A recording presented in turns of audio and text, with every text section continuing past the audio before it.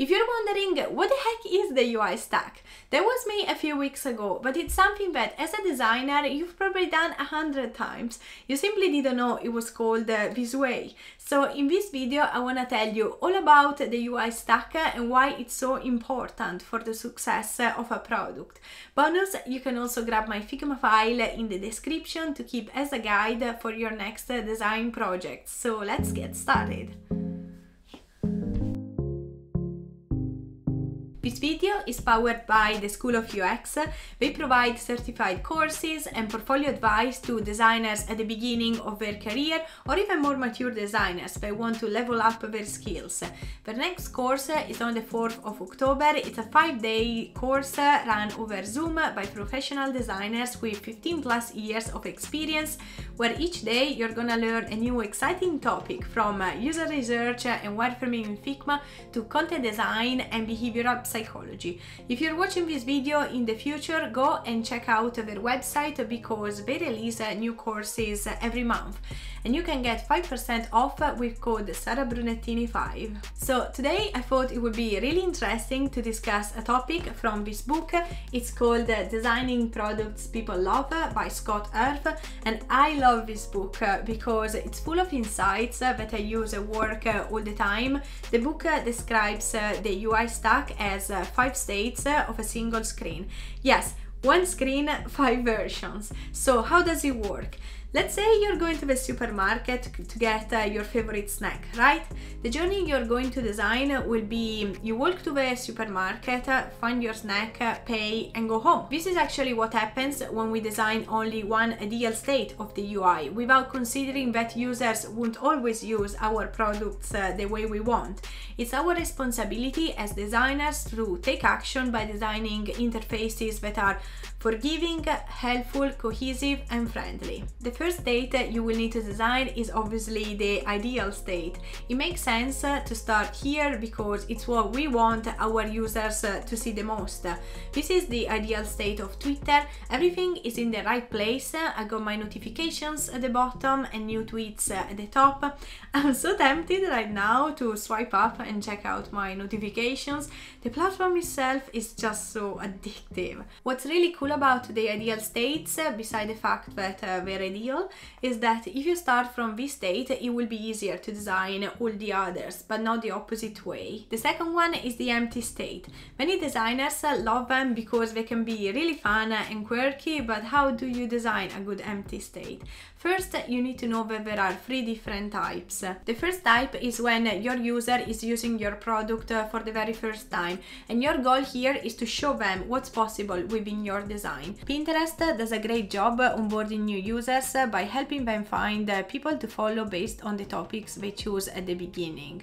For example, I'm very into interior design right now, so as you can see here, my dashboard is already full of ideas and inspiration uh, just a few seconds after I opened my account. The second type of empty state uh, is when your user has voluntarily removed the data from the screen. Now, let's say that I want to delete all my pins because, I don't know, maybe I want to try something different from my home.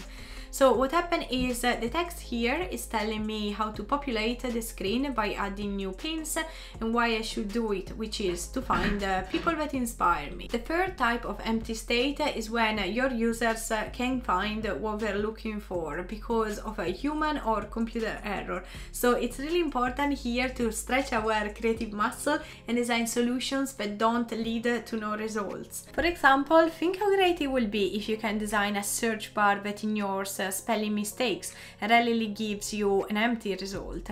I really like this example here because as a non-native English speaker I do spelling mistakes uh, all the time but this search bar here knows what I'm after or does its best to suggest uh, similar results. You can design so many other types of empty states but maybe we will need an entire episode to talk about it. I find this website really good for ideas and inspiration. It's called uh, Empty States and I leave a link in the description for you. Moving on to the error states, uh, this is where things get a little bit more complicated. It's an unknown territory for product designers.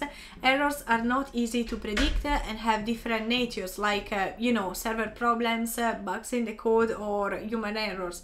as well, like uh, when you enter the wrong password several times and you crash the system. Sometimes they happen all at once, that's why they're really hard to predict.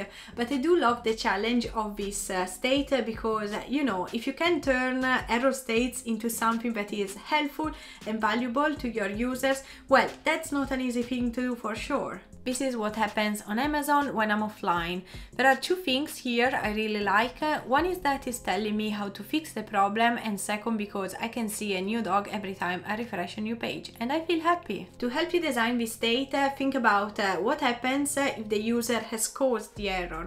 What happens if there is a connectivity error and if so, how can uh, your user easily recover from the error? How might we design a solution to prevent this error from happening in the future? A partial state is basically when only a fraction of the content is displayed on the screen.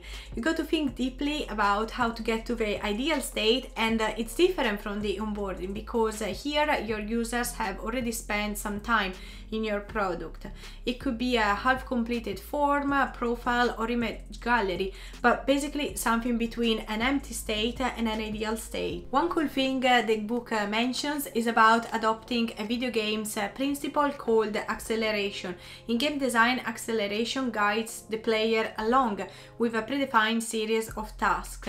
The trick here is to make the player not realize they are performing uh, this really boring task to move on to the next level. You can find this example in my Figma file, so I highly recommend you download it from the description below. When I think about loading states, uh, I think about uh, those uh, really heavy WordPress sites uh, full of really fancy but slow animations that forced us to keep looking at the time, think deeply about the meaning of life, or find something else to do because it's just too much. But loading states are still in our products, they just evolved to become more user-friendly and less annoying.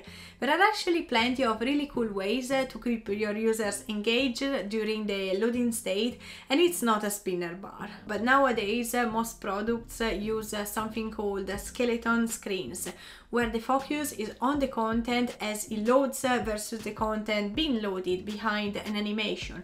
In other words, a skeleton screen is basically a blank version of an interface where the elements are gradually loaded and it creates the sense that things are happening immediately as information is incrementally displayed on the screen. Facebook is a good example because uh, the like button appears on the screen even before the rest of the page is loaded so that you can start engaging engaging with a product uh, without having to wait, which has so much power if you think about it. Now, so far we've learned about each state of the UI stack, but now we got to learn how they coexist. So I've created a random app in Figma to show you how the UI stack works in action. You can download the file in the description and my advice here is really to recreate another one to familiarize yourself with the process. And then my friend is the UI stack and it should exist on every screen you design. I really hope it was helpful. Leave a thumbs up if you think it was or let me know in the comments uh, if you don't agree with what I said. Alright, have a wonderful day and I'll see you in the next video. Ciao!